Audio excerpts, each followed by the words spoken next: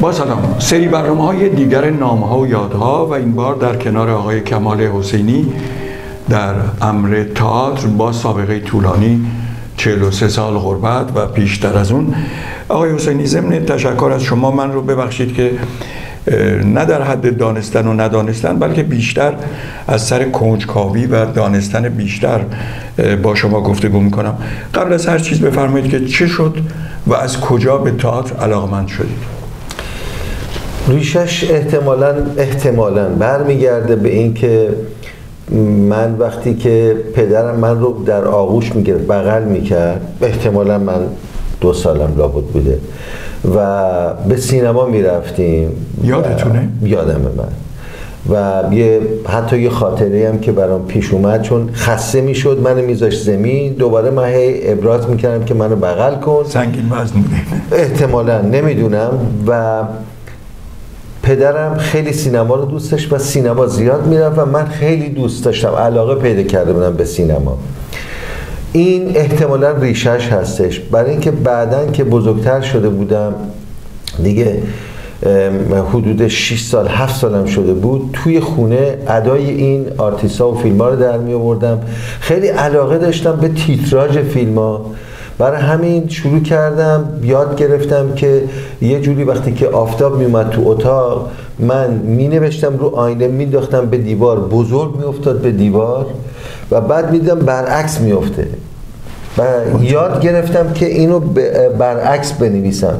برای همینم هنوزم من می‌تونم فارسی رو برعکس تند بنویسم. یک سوال چون دیرتر به کار کارگردانی رسیدید آیا دوست داشتید که دیده بشوید یا دیده به اصطلاح به دیگران نشان بدید؟ دوست داشتم که دیده بشم. به خیلی صمیمی جواب شما. دوست داشتم دیده بشم. من خیلی تو پرانتز بگم بعدها که من اومده بودم دیگه خارج از کشور. یکی از دوستانی که علاقه به کار تئاتر داشت ولی تو هر کدوم از این پروژه هایی که رفت بعد از تمرینایی که کردن پذیرفته نشد. یه روز با من که داشت صحبت می‌کرد به من گفتش که تو ناراحت نشی تو خودنمایی می‌کنی. گفتم آفرین درسته. من خودنمایی من خودم را می نمایانم اگر من خودم روی صحنه ننمایانم خب دیگه اصلا این کاری که من دارم می‌کنم دیگه به درد نمی‌خوره. گفتم هر کسی تو هر کاری باید خودش رو نشون بده. اینکه تو منفی به من اینو میگی من اینو کاملا به صورت تو ایران است در اروپا برعکس همین همونطور که میگین. از کار تئاترتون در دوره نوجوانی در ایران بگویید. از اونچه که در زیر نور آفتاب تا رفتید زیر نور پروژکتورها این مسیر چه بود و چگونه بود؟ این مسیر به این صورت بود که وقتی من تو کوچه بازی می‌کردم با اون پیژامه معروفی که بچه ها داشتیم اینا احتمالا شما هم یه خاطره دارید. توی کوچه با همدیگه تئاتر و سینما هر چیزی که می‌دیدیم انگار که یه سوژه رو درست می‌کردیم با همدیگه جنگ می‌کردیم شلیک می‌کردیم به همدیگه صدای هفتی رو هم با دهان در می آوردیم این در واقع اون ابتدای داستان بود. ولی وقتی که من به دبیرستان رسیدم از اولین سال دبیرستان در واقع تئاتر برای من استارت بود. حتی اسم تئاتری رو که من اولین بار توی دبیرستان در سال اول بازی کردم به خاطرم هستش. حتی نقشمو به خاطرم هستش. بگین. اسم نمایشنامه بود نیرنگ بزرگ تاریخی و من نقش مرد مسلمان رو بازی می‌کردم و معلم انشای ما کارگردان این نمایشنامه بود. این نمایشنامه توی ایوان حیات مدرسه اجرا شد و تماشاچیامون تمام شاگردای مدرسه بود. از کلاس اول تا کلاس ششم. ششم در اون موقع الگوی شما در تئاتر ایران چه کسانی بودن؟ تا چه حد تونستید به اینا نزدیک بشید؟ و از چه زمانی کم کم می‌تونیم بگیم کار حرفه‌ای شد؟ الگوی من در واقع تئاتری بودش که تو تلویزیون می‌دیدم. و بدون که اسماشون رو واقعا متوجه بشم از بازیاشون خوشم میومد و خودم رو جای اینا میذاشتم. و این افراد خب من بعدا اسماشون رو یاد گرفتم. مثلا آقای عزت الله انتظامی آقای علی نصیریان خانم فرزانه تعییدی آقای پرویز کاردان و و و بله ماشاءالله قولهایی بودن. بله قولهایی بودن و من این تو تئاتری که بازی می‌کردن یک حس این رو داشتم که انگار منم دوست دارم اونجا باشم جای اونا باشم. این حس من بود. آیا وقتی که در ایران بودی تئاتر برای شما حرفه‌ای شد یا فقط یک علاقه بود در کنار کارهایی که داشتی؟ یک علاقه بود در کنار کارهایی که داشتم.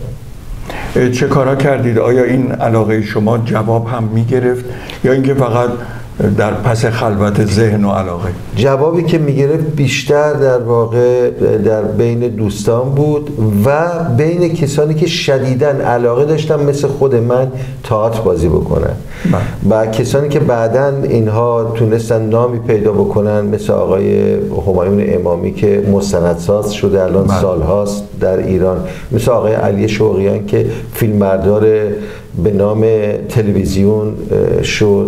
مثل آقای رسول نجفیان که بله. برنامه ساز تلویزیون شد هنرپیشه سینما شد و کارگردان تئاتر. شما هیچ به تلویزیون نخواستید برید؟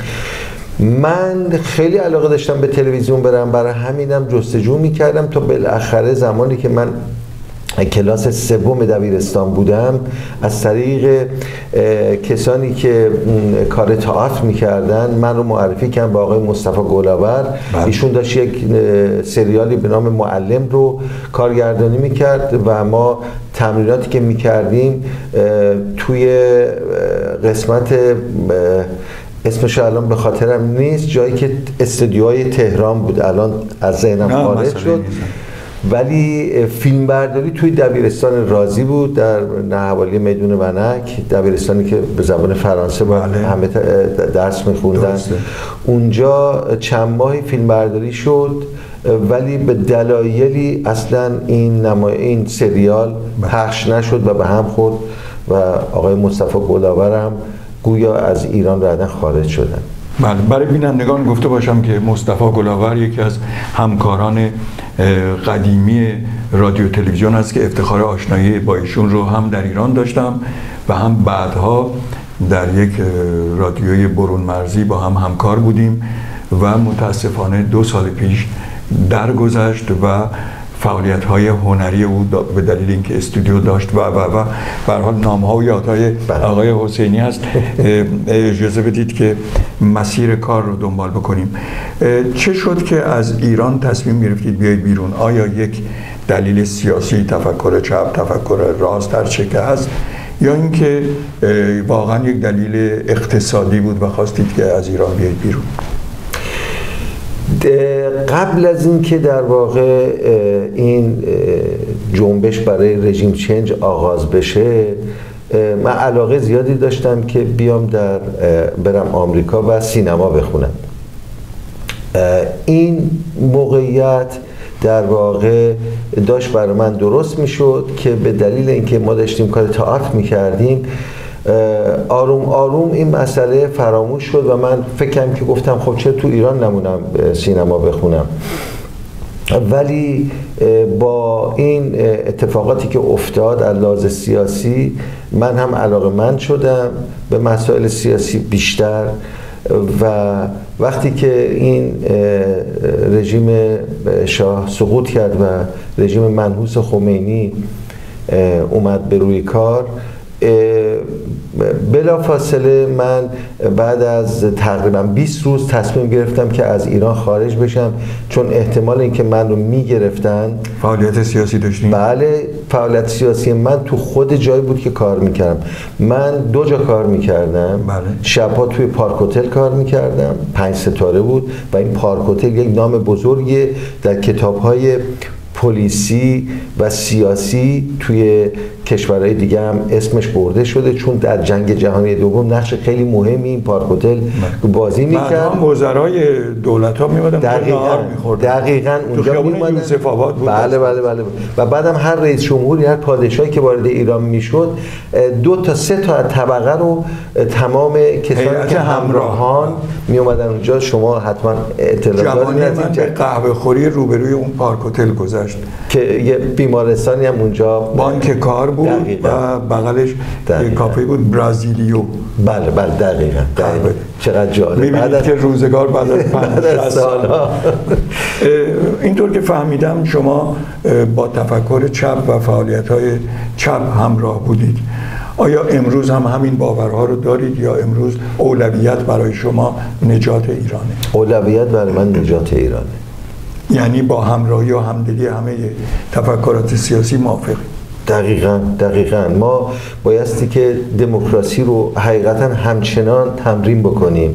همچنان بدونیم که همه ماها ایرانی هستیم با تفکرات مختلف و یک ایران آزاد یک ایرانی که دموکراسی رو داره می‌تونه مثل تمام کشورهایی که ما الان می‌بینیم به عنوان مثال فرانسه آلمان.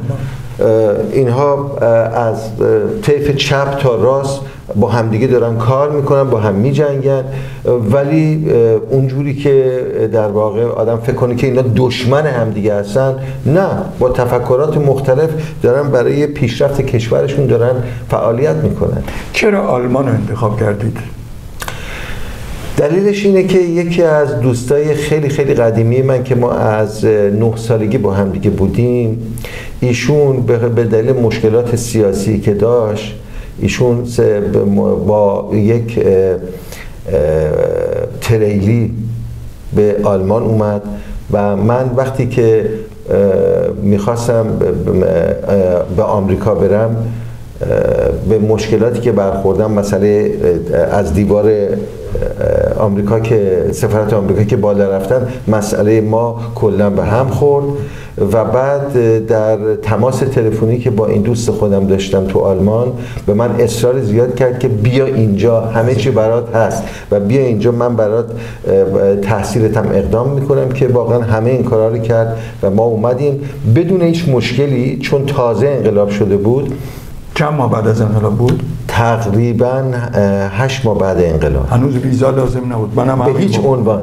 به همین دلیل من تمام کشورهایی که من راه افتادم رفتم بدون ویزا بود و آخریش رو واقعا بعد از اتریش که ما چند هفته اونجا بودیم بعدش اومدیم به آلمان بدون 160 کشور بدون ویزا می‌تونیم سفر کنیم. دقیقا. امروز میترسم یه روزی طالبان هم از ما ویزا بخواد این اولین برنامه نام ها و یادها بود و همطور که متوجه شدید گفتنی ها و شنیدنی ها با آقای حسینی بسیاره و شما دعوت می‌کنم به برنامه های بعدی نام ها و یادها توجه کنید.